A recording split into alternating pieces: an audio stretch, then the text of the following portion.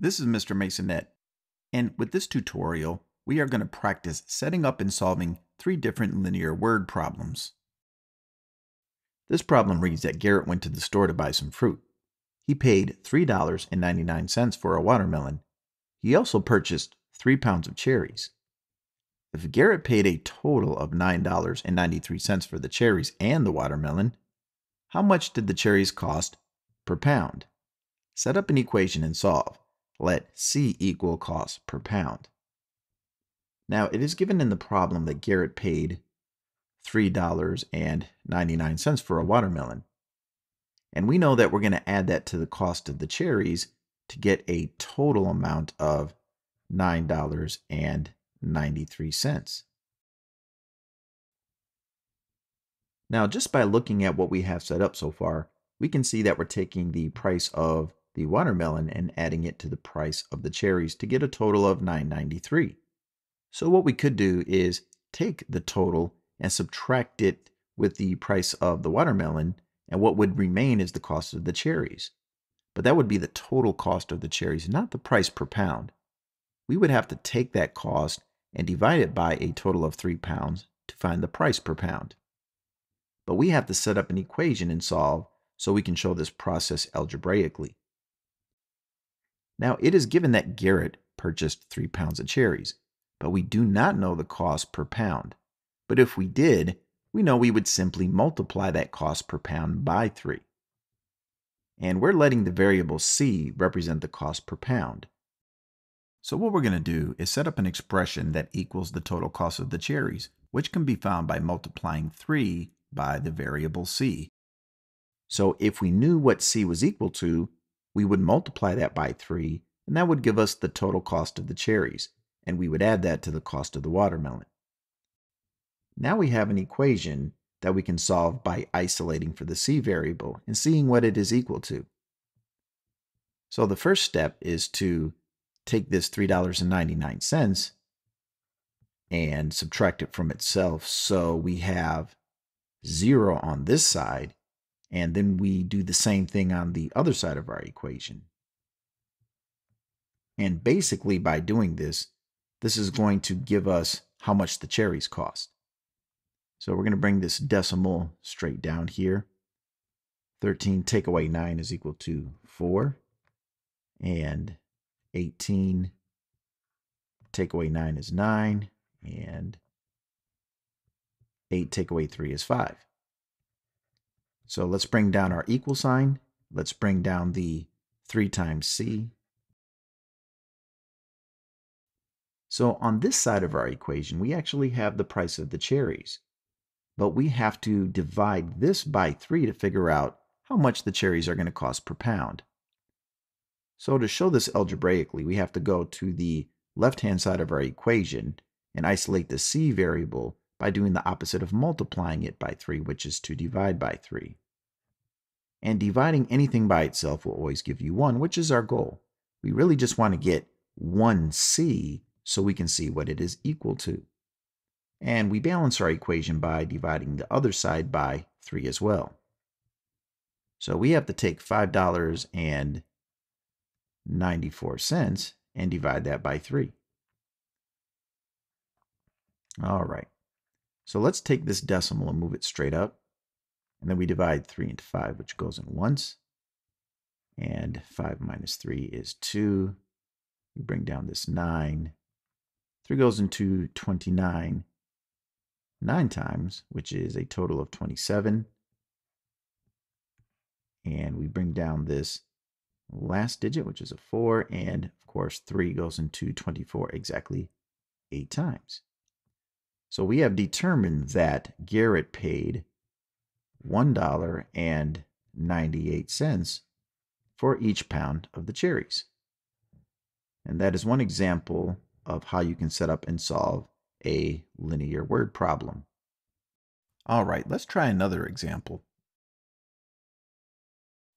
In this problem, it says that the sum of 3 times a number and 2 less than 4 times that same number is 61.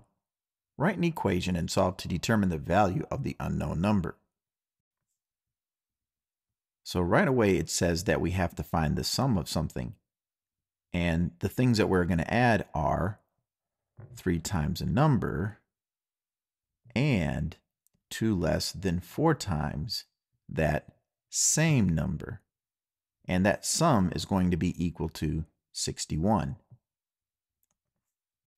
So we know we are adding two things together, and after we add those two things together, that is going to equal 61. And the first thing that we're adding is 3 times a number, which can be written as 3n. And the next thing that we are adding is 2 less than 4 times that same number. And the second thing that we are going to add is 2 less than 4 times that same number. And that would be written as 4n minus 2. Now notice that I wrote minus 2 after 4 times a number, even though it said 2 less first. Because 2 less means that you have to take it away from something, so you have to write whatever that thing is first.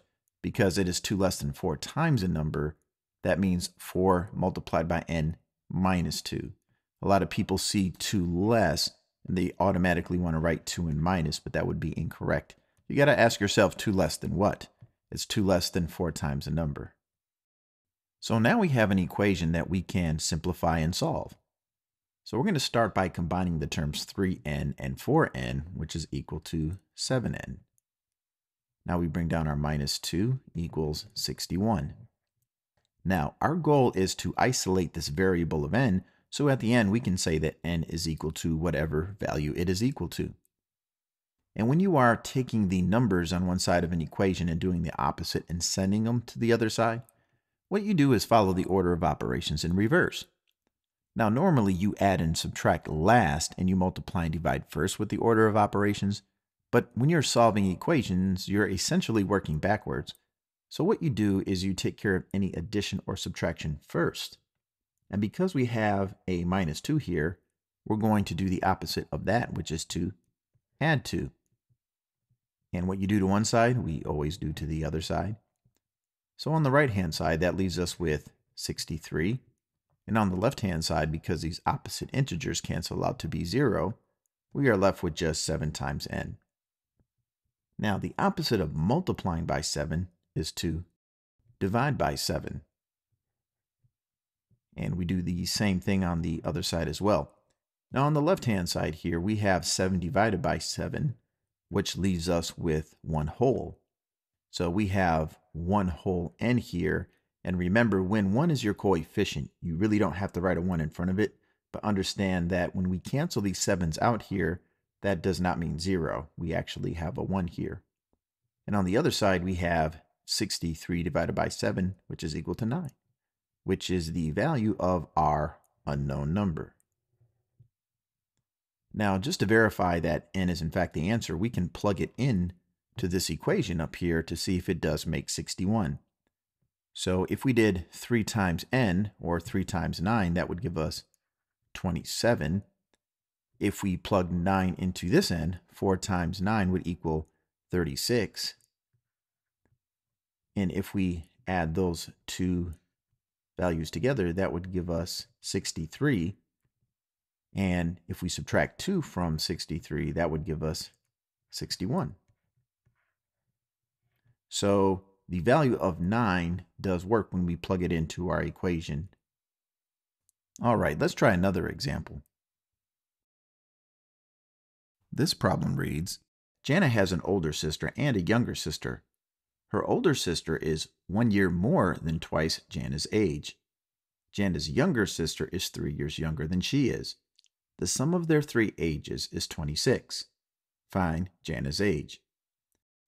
So after reading this problem, on a basic level, we know that we have three sisters, that if we were to add their ages together, it would be equal to a total of 26 years. So the sisters can't be that old if between the three, you know, their ages only add up to 26.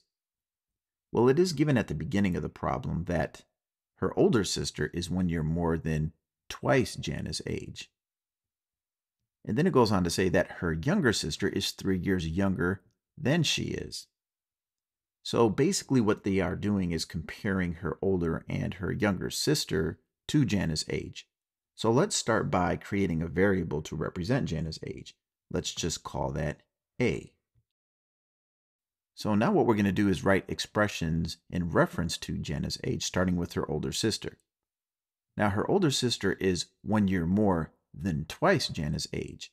So algebraically, we can say that the older sister is double Jana's age, which is 2a, and one year more than that. So this expression right here is equal to the age of Jana's older sister. Now Jana's younger sister is three years younger than she is. So that just means that the younger sister is the same age as Jana, which is A, minus 3, because she is three years younger. And of course, Jana's age is just A. So this expression is equal to the age of Jana's older sister. This expression is the age of Jana's younger sister, and Jana is just A years old.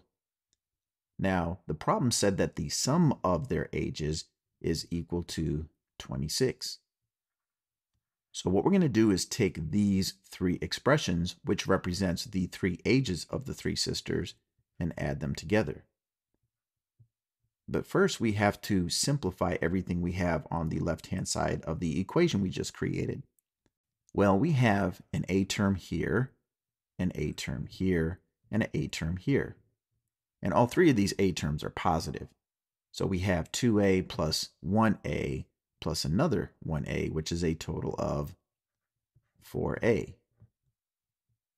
And then we have a couple of constants in the problem. We have a positive 1 here and a minus 3 here. So if we were to combine those two together, that would be a total of negative 2. Because we have more minuses than pluses, the minuses win out. And we have two more minuses than we have pluses. And that is going to be equal to 26. Now we just have one variable in our equation, which will allow us to isolate that variable and solve.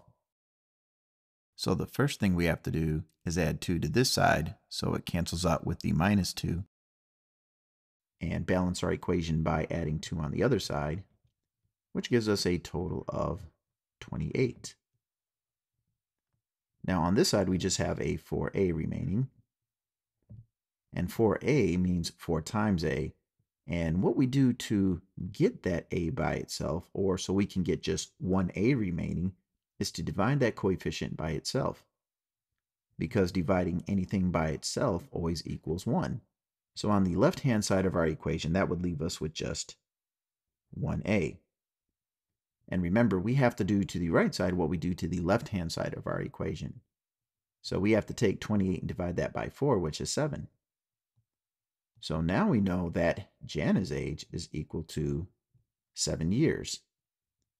Now, because Jana's older sister is one year more than twice Jana's age, we could double 7 to get 14 and then add 1 to that, which would give us 15. So we know her older sister is 15 years old, and her younger sister is 3 years younger than Jana, so we could take 7 and subtract 3 from that, which would give us 4. And of course, we have figured out that Jana's age is 7. So if we add all three of these ages together, we should come up with a sum of 26. So let's just add those together to verify our results. 15 plus 7 is equal to 22, and 22 plus 4 is in fact 26.